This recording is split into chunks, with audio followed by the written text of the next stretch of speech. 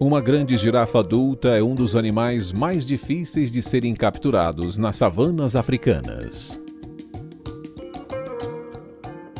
Suas características facilitam sua fuga na maioria dos ataques.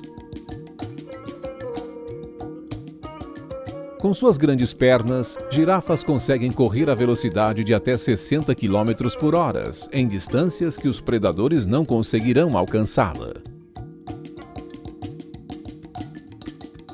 Mesmo para um grupo de leões, não é tarefa fácil derrubar uma girafa que é extremamente forte e tem bastante resistência.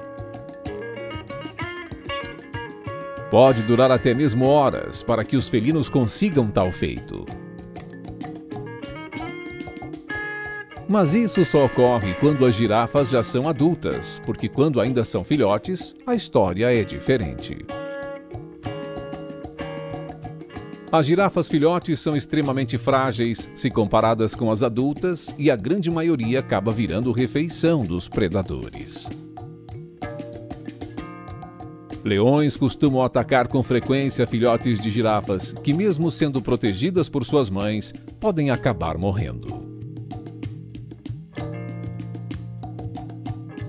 E nem precisa ser os leões no ataque para a girafa se dar mal.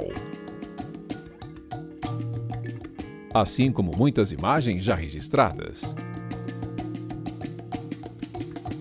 Um grupo de hienas também pode se dar bem ao encontrar uma girafa filhote ou mesmo jovem que ainda não conseguiu aprender a fugir.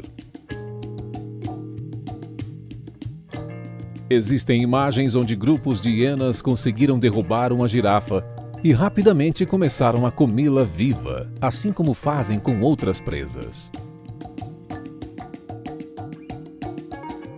Essa é a incrível e perigosa vida das girafas, que precisam passar por diversos desafios para chegar à idade adulta, onde poderão ficar mais tranquilas em relação a predadores.